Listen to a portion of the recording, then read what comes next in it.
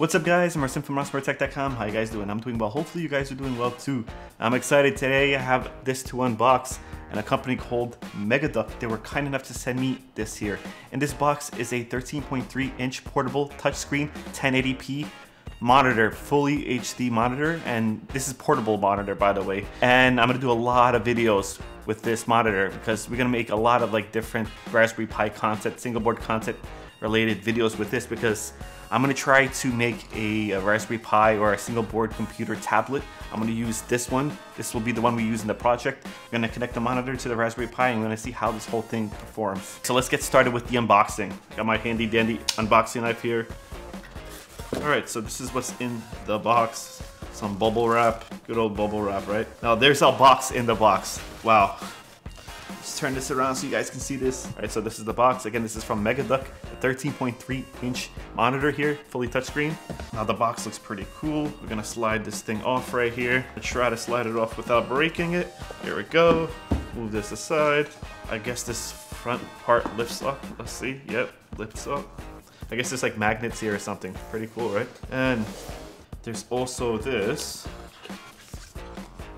manual right here. Pretty cool. More foam. Just lift up the monitor. This is the actual monitor right here.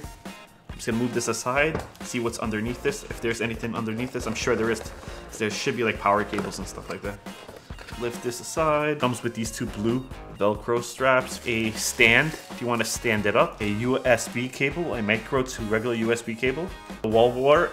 This is the wall wart power brick, another USB 3 cable, I guess. Yeah, USB 3. And this is a HDMI cable. Now this is nice, very nice actually. This thing feels solid. All right, so this is the monitor. This thing feels amazing. It's solid, like definitely, definitely high quality. This has got some weight to it. It's, it's amazing. Like it, it's built really strong and the screen looks cool. And the, the button layout is pretty cool as you see on the bottom right here. The Mega Duck logo right on the bottom. All right, so what we're gonna do is I'm going to connect everything and I'm gonna connect a Raspberry Pi to this monitor and we're gonna test it out to see how it looks. All right, so the monitor is connected. This is Raspbian. I'm using a Raspberry Pi 3 and I can tell you right now, the colors are amazing. Now this video is just gonna be the unboxing and first look. I'm not gonna set up the touchscreen for the Raspberry Pi 3. I'm gonna show you that in another video. The other video is gonna be titled installing touchscreen on the Raspberry Pi 3. This video is just a first look and unboxing of this portable 13.3 inch 1080p touchscreen monitor. Alright guys, that's pretty much it. I'm gonna leave a link to this monitor in the description.